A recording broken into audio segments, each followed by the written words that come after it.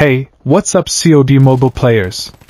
Season 9 is almost here, and today, we're talking about the newest and coolest score streak, the Flamenaut. This one's going to heat things up on the battlefield, so let's talk about what it does and how you can use it. So, the Flamenaut is a powerful new score streak in COD Mobile. Imagine wearing armor that protects you from flames, and carrying a big flamethrower that burns anyone in your way. It's super strong and can really change the game. Now, here's the thing. The Flamenaut is unlocked at just 900 points. I know that seems low for something this powerful, so it might change when Season 9 comes out. But for now, you can get it at 900 points, which makes it easier to unlock than you'd think. The flamethrower isn't just for show. It has great range and burns enemies over time. If you get close enough, enemies don't stand a chance. You can take out whole teams if you use it right. To use the flamenaut well, don't just run into the open. Stay near cover and head towards areas where lots of enemies are, like hardpoint or domination zones.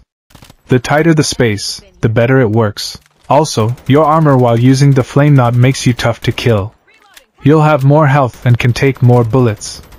But don't get too confident. You can still get taken out by explosives or headshots. If you're facing someone using the flamenaut, don't worry. There are ways to stop them.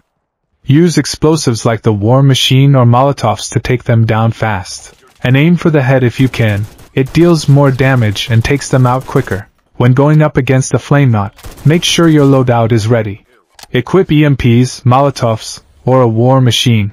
It's also a good idea to team up and focus on stopping them before they get too close. If you unlock the flamenaut, it's perfect for modes like hardpoint or domination. You can hold down spots, push enemies away, and get lots of kills while controlling the map. Here are a couple of tips. First, use the hardline perk to unlock the flamenaut faster, and try persistence so you don't lose your progress if you die. Also, keep moving. Don't stay in one place too long or enemies will swarm up on you. So, that's the new Flamenaut score streak coming in Season 9. It's going to shake things up and make the game a lot more intense. What do you think about the Flamenaut? Is 900 points too low, or just right? Let me know in the comments. Make sure to hit the like button, subscribe for more COD mobile content, and turn on the bell so you don't miss any updates.